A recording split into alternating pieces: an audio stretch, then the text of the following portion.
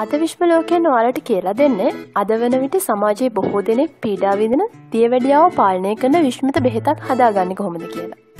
ඇත්තටම මේ සඳහා අපි යොදාගන්නේ ඔබ කවුරුත් හොඳින් හඳුනන එළවලුවා.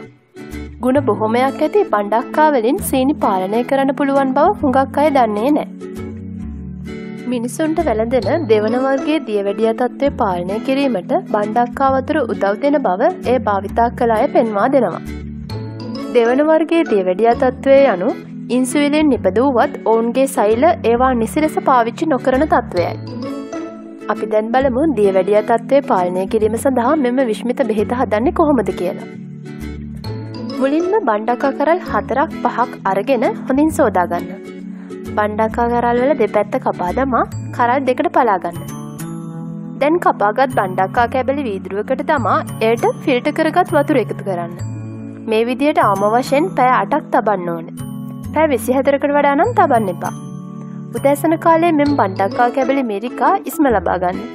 එම ඉස්මවලට වීදුරුවේ ඇති වතුර දෙක් කරගන්න.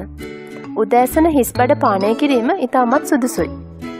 බණ්ඩක්කා වතුර පානය කිරීමෙන් සීනිමට්ටම් පාලනය කළ හැකිවුවත් හොඳට ව්‍යයාම කිරීම සමබර ආහාර වේලක් ගැනීම ආදිය දේ ගැනත් අමතක කරන්න එපා. මෙම විශ්මිත බෙහෙත් වට්ටෝරුව භාවිතා කිරීමට පෙර ඔබගේ පවුලේ වෛද්‍යවරයාගෙන් උපදෙස් ලබාගන්න. තවත් මෙවැනි වටිනාතොරතුර දිනපතා දැනගැනීමට විශ්මලෝකයත් එක්ක රැඳී සිටින්න. විශ්මලෝකයෙන් ඔබට සුබ දවසා. අපව සබස්ක්‍රයිබ් කරන්න අමතක කරන්න එපා.